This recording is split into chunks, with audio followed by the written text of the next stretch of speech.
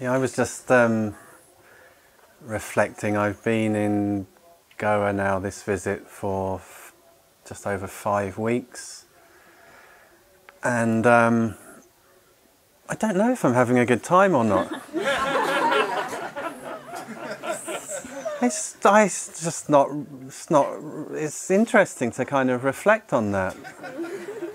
I'm not, I, know it doesn't, I, I'm really, and I sort of reflect on it and I, well, I don't know, I suppose I am. but it's really interesting to see how that's, that's changed.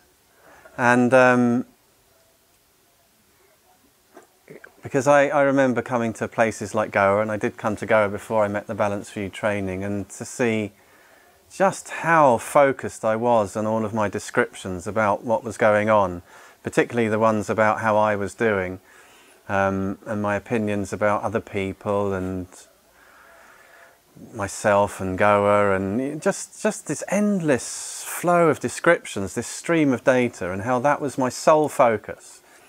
And um, you know, I would wake up happy some days and down other days, and those thoughts and emotions would seem to set the tone for the rest of the day or the rest of the week, and know, I'd then be trying to work out, well, what can I do to, to change the negative ones? When I was happy, I didn't think I needed to change anything, but the happiness would come and go. Um, but when I was negative, I needed to work out what needed to change. You know, did I need a, an intimate partner, or did I need to get rid of my intimate intimate partner, or did I need to leave Goa, or change rooms, or um, go to more parties or go to less parties or um,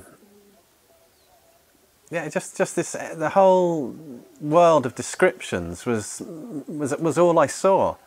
That was all I saw. And it's amazing now that um, through participating in this training and really getting to know that all, all, of this data, all of these descriptions, everything that you can perceive is nothing other than the dynamic energy of open intelligence and it arises spontaneously and it self releases naturally. that, that's it. And just in knowing that and in seeing that directly with all of your data, with all of your experience, then everything opens out. And what's revealed is actually the essence and fundamental nature of everything, which is great benefit. And so it's just such a relief, first of all, not to live my life completely wrapped up in all of these descriptions. I was just thinking about, um,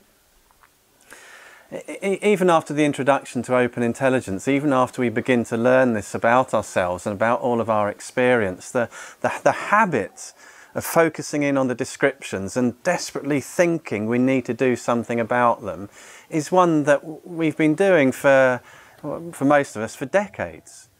You know, so a, a thought arises like um, fear, you know, and fear can just suddenly pop into your mind stream. It can be fear about something, um, fear about getting sick or getting ill, or fear about um, somebody we love dying, or just a kind of vague, nameless fear, sense of dread, or you know, something that can't quite put our finger on. And and then we begin to think about it and, well, is this a sign that I'm about to get sick? Or is this a sign that there's this or that or the other? Or, or what do I do about it? Or, and everything seems suddenly really problematic and really troubling.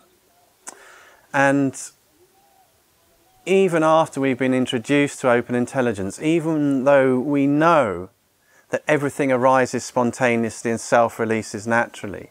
This habit to jump on a certain description or experience or, or thought, the thought, and it is it's something that is, um, you know, it's drilled into us from such an early age that, you know, we, we need to find the perfect partner, and that's where our happiness lies. And, you know, from the very early, the very first fairy story that you hear, the prince and the princess, and every single Hollywood film ever made, whatever happens, it always ends up after they've saved the world with the hero and the heroine walking off into the sunset. So it's not surprising that we believe that is really where our happiness lies. And So then maybe we see a, a, a beautiful looking couple on the beach and immediately we're off and oh, you know, they're so happy and oh God, that's where my happiness lies and even though we know that all of the data arises spontaneously and self-releases naturally. We jump on this one experience, this one thought, this one data stream. And um, it, it's, it's just a habit, and, and the habit of beginning now to rely on open intelligence It's really simple. It happens just one short moment at a time. So the only place that you have to recognize open intelligence is in the current datum. Whatever you're experiencing, whatever you're thinking, whatever you're sensing right now, that is your opportunity to allow it to be as it is and to recognize that as the dynamic display of open intelligence. So it's so simple. That is always the case. That's the case right now. And that's the case right now and now. And it is always that simple. But I saw for myself that the habit of emphasizing the data, of jumping on them, of being caught on this, um, this manic wheel of descriptions, of thinking, of analyzing, of trying to work everything out. I, the, one of the analogies we use is of a, a potter's wheel.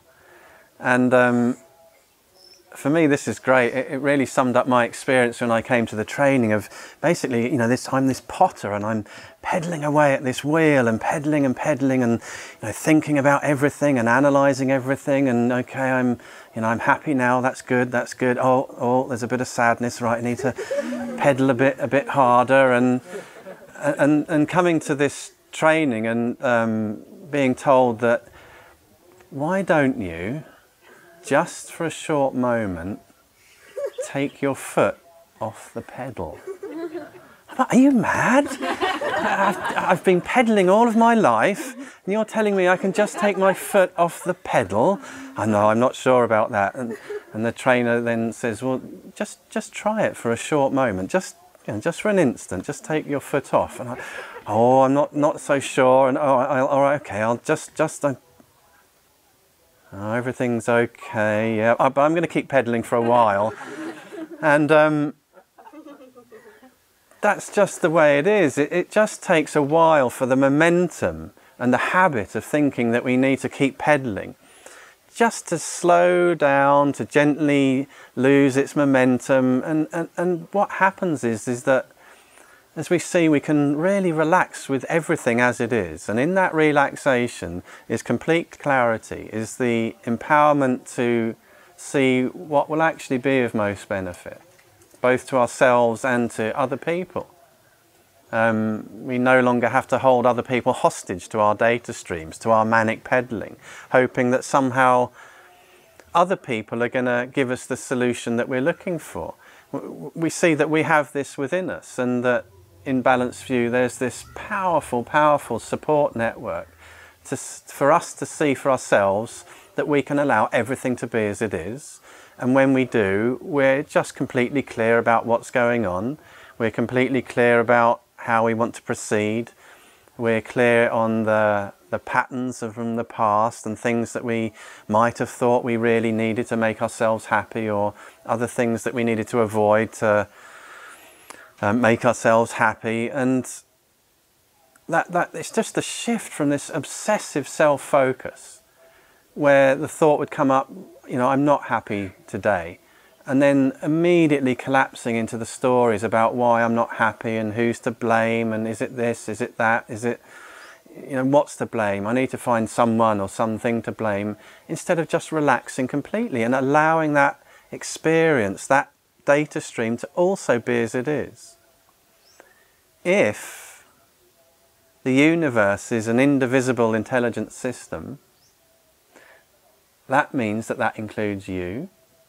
That includes all of your thoughts, all of your emotions, all of your sensations, no matter how you describe them. All of your experiences are also part of this indivisible, open intelligence system. They are already part of this open intelligence system. You don't need to do anything to make them part of it. All you need to do is allow them to be as they are, to rest for a short moment, and relax completely. And in that, you gain immediate access to this open intelligent system that the universe actually is. It's only by going in and trying to do something with this dynamic energy that that openness of perception that is this open intelligent system is simply ignored. So it's so simple, it's so practical, but it really is up to each one of us to decide whether this is something that we want to incorporate into our everyday lives. And I see for myself that the more I do that, the more I train up this non learning.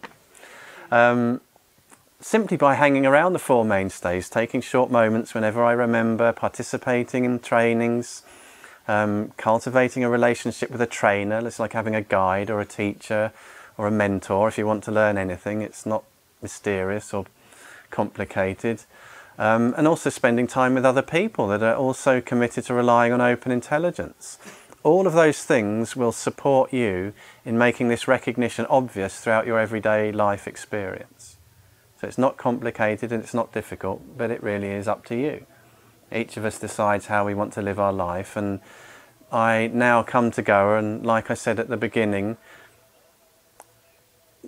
I, I, I really don't, I don't mind whether I'm having a good time or not. I just kind of am having a good time. But it's not the focus. And, and that's such a relief. I can see that just by allowing everything to be as it is, I have everything that I need. And then from there, I can choose how I want to live my life. I can choose about an intimate partner or who that's going to be but from a, a very clear, open standpoint, not from this kind of desperate need of feeling that somebody is going to give me something that I'm missing, just from a perspective of complete relaxed openness. And, and that's a great place to make any decision from, whatever it is. That's where we really become wise and clear.